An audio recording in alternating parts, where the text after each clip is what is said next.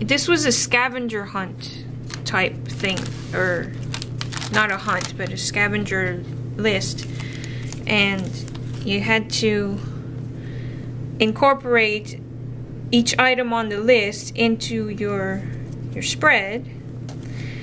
And so there were feathers and a song lyric and a bird and a key and so yeah the this here this here tells you tells you what it was and what the list was and stuff but anyway it's um,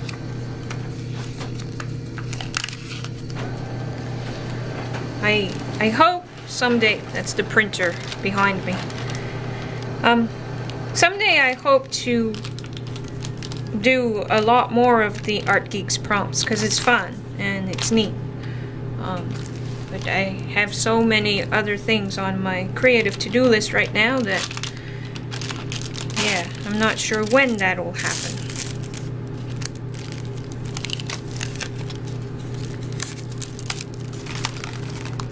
This was um, that from that page before where I, I had gone for a walk and I picked up some stuff.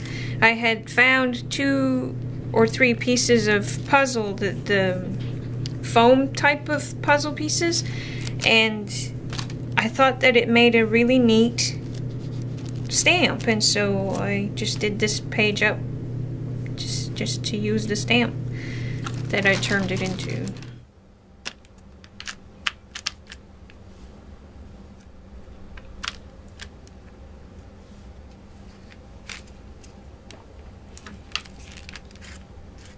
There we go, that was a better impression.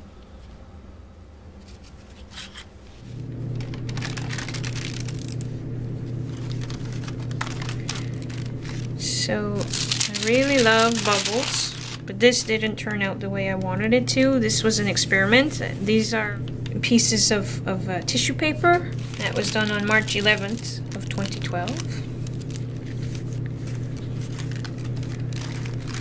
This was um, I wanted to try and do I there was a rusted piece of metal that I had found and I wanted to see what I could do and this is um, PVA glue and marker on top and then pens and stuff.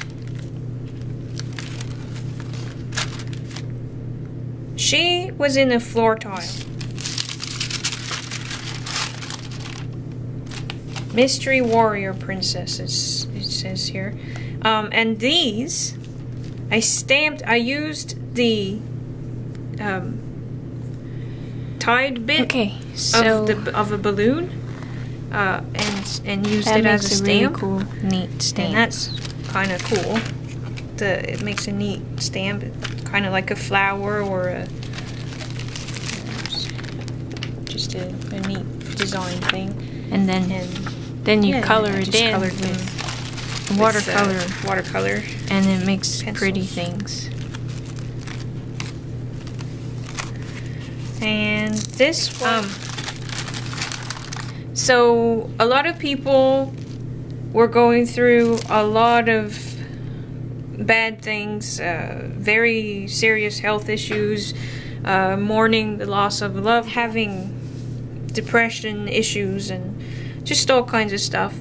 And so, just a lot of people that I care about and love were going through some very hard times. And so, I just decided to incorporate all of that into this and sort of just sort of was like a, a greeting card for all of them. Um, and really, this is this kind of stuff. It, it still applies today. So, and this was March fifteenth of 2012 that I did this. And this, I believe this. Okay, so I was doodling while Effy was streaming. Oh, I was trying out my Copic marker. I have only the one black Copic marker, um, and I have decided that I don't like Copics very much. So anyway, but that's... um,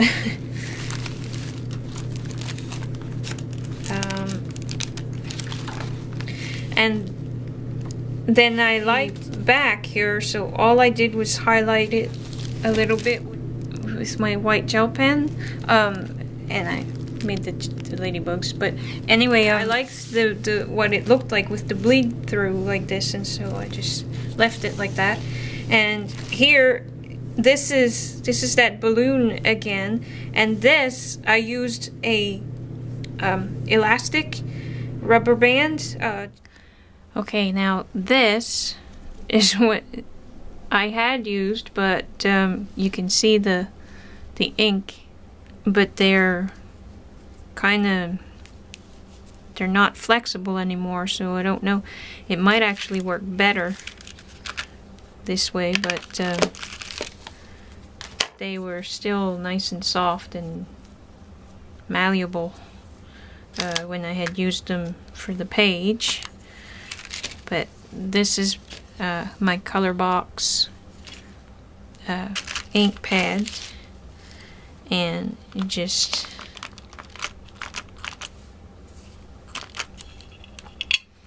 yeah it doesn't work as well when it's hmm let me go find a different okay we'll see how these work um, I think the longer the bigger one would be better but anyway So just kind of let it do whatever it wants to do. Press it in the ink.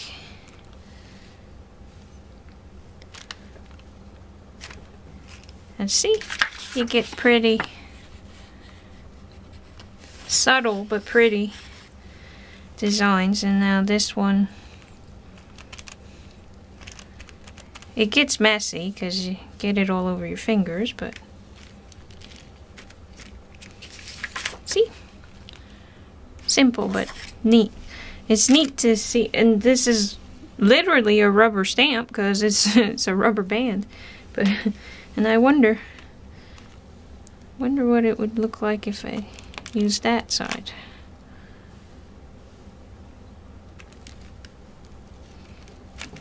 Oh, neat.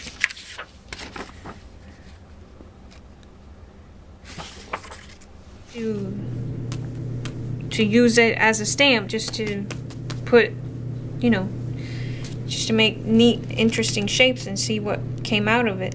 And now that I'm looking at it, this one in particular, if I did a bunch of this in a circle, that would make a, ni a nice flower. Like circle it around one of these maybe or something.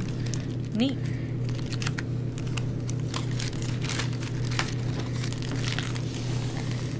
Okay, this was an Art Geek prompt. This, you had to draw an item that you use every day uh, from memory. And so what I did is, I did, I tried to do the pattern on the table, my art table, my camera, this guy, and my water mug, which I would show you, but it's at home um, and an apple, uh, a Macintosh apple. On this side is what I was doing. Anyway, so yeah, those Geek prompts are really fun. They're they're neat challenges.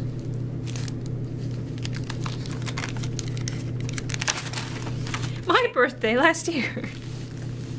I I often will do a piece uh, for myself on my birthday. It's kind of a tradition. Um, this is a, this girl here is inspired by Traci Bautista.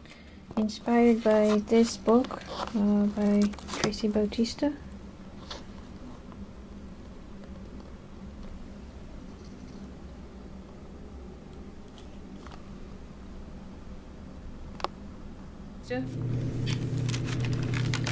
And this was, I believe, while Effy was streaming. Yes, I, I did these while